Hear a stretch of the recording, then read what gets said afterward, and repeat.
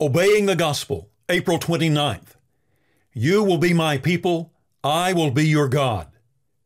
I will take you to be my people, and I will be your God, and you shall know that I am the Lord your God, who has brought you out from under the burdens of the Egyptians. Exodus 6, verse 7. After Israel was delivered from captivity, what then? That's a question God answered even before he liberated them.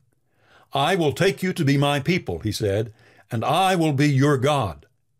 Having rescued them from four centuries of servitude, God would enter into a covenant, a special two way agreement with them. He would be their God in a unique sense, but as his people, they would have some responsibilities along with their blessings. You yourselves have seen what I did to the Egyptians, and how I bore you on eagle's wings and brought you to myself. Now, therefore, if you will indeed obey my voice and keep my covenant, you shall be my treasured possession among all peoples. For all the earth is mine. Exodus 19, 4 and 5. Israel would have to keep their part of the agreement. In Leviticus 26, 12, God said to Israel, I will walk among you and will be your God, and you shall be my people. Surrounded by the moral and religious corruption of Canaan, they would need to keep themselves free of those influences so that they could truly be God's people in practice as well as in name.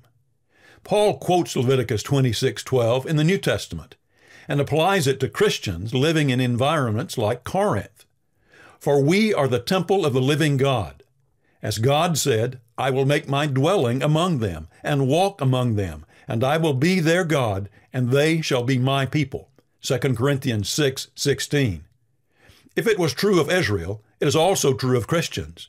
If God is to walk among us, we must do more than rely on the privilege of a special status. We must maintain a purity in our actual lives that identifies us as belonging to God. God said then the same thing he says now. You shall be holy, for I am holy. Leviticus 11:45 and 1 Peter 1:16. For here is the truth of the matter. We haven't really been liberated or saved if for all practical purposes we continue to live in Egypt. God requires that we leave our chains behind, not only as a group, but also inwardly, privately, and individually. In the poetry of Gerhard Tersteegen, O thou to whose all searching sight the darkness shineth as the light, search, prove my heart, it pants for thee. O burst these bonds and set it free.